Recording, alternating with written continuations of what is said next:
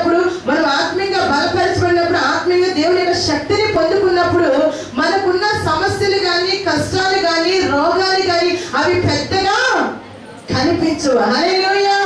మనం ఏం చేస్తున్నాం అంటే మనకున్న సమస్యలను ఏమో పెద్దగా చూస్తున్నాము. దేవుని యొక్క శక్తిని మనం ఏం చేస్తున్నామంటే చిన్నగా చూస్తున్నాము. హల్లెలూయా!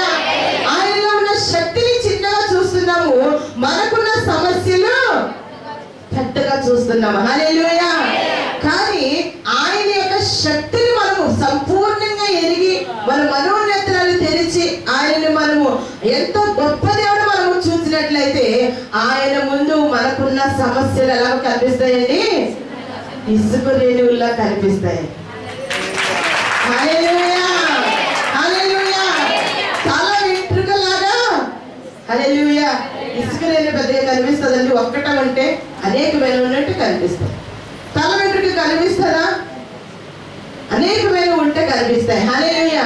కానీ యేసులో ఉన్న గొప్పతనాన్ని ఆయన చేసే కార్యాలని కూడా మనము చూసినట్లయితే వాటి ముందు ఆ నా యేసు ముందు ఈ రోగము ఎంతటిది? హల్లెలూయా. నా యేసు ముందు ఈ